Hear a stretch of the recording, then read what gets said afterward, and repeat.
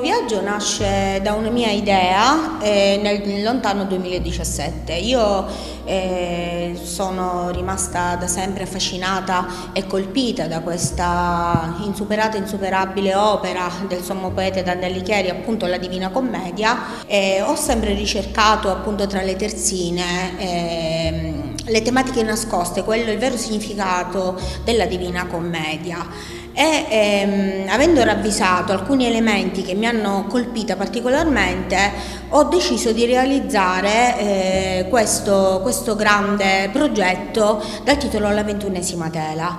Ho chiamato per questo progetto alcuni artisti internazionali proprio per realizzare 10 eh, opere sull'inferno, i cantici ovviamente eh, non sono stati scelti a caso ma i cantici sulle opere sono frutto di un'attenta ricerca appunto sulle tematiche nascoste. Altre 10 opere sul paradiso che in prima battuta nel 2017 al Palazzo del Pegaso, Regione Toscana, sono stati realizzati dal maestro internazionale messinese eh, Alex, Alex Caminiti e adesso nel 2021 eh, si è aggiunto al progetto il grande maestro Alessandro Doscoi che sta realizzando appunto 10 tele eh, sul paradiso.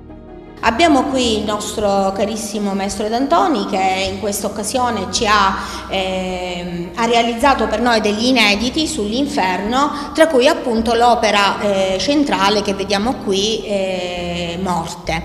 Io ho utilizzato dei pigmenti purissimi questa, per quest'opera, ehm, una juta antica ehm, lasciata ehm, maturare un pochettino anche con l'umidità lavorata ad alabastrino, alabastrino con un pochettino di cemento di Bologna.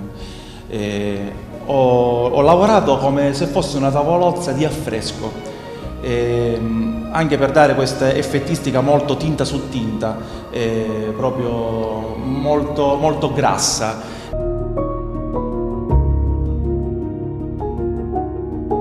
nella prima sala comincia il viaggio, nell'altra sala eh, appunto eh, capiremo il perché di questa mostra e sveleremo appunto con la ventunesima tela eh, le eh, tematiche nascoste che eh, ho ravvisato nella Divina Commedia.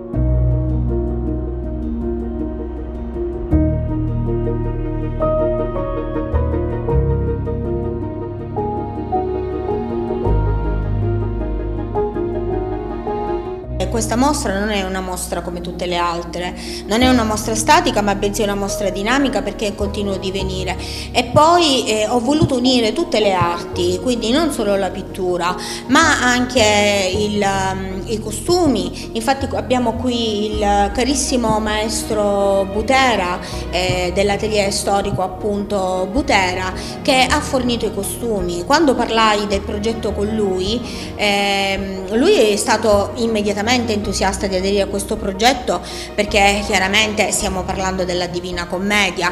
Dovevamo realizzare un cortometraggio, quindi abbiamo unito anche il cinema. E questa unione di arti ci ha portato a realizzare tutto quello che vedete e ancora molto di più che adesso non posso svelare.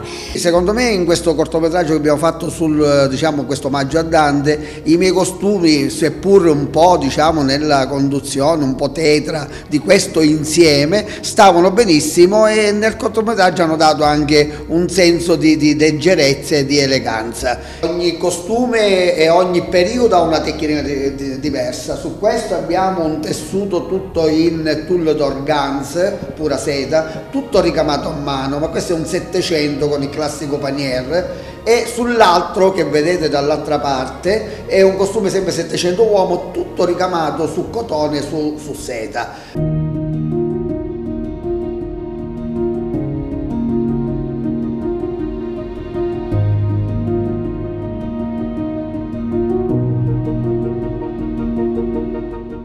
Questa è la famosa ventunesima tela. Questa è una tecnica mista realizzata sul lino, sul lino bianco puro, trattato con resina, resina pura e con olio di papavero e pigmento rossastro.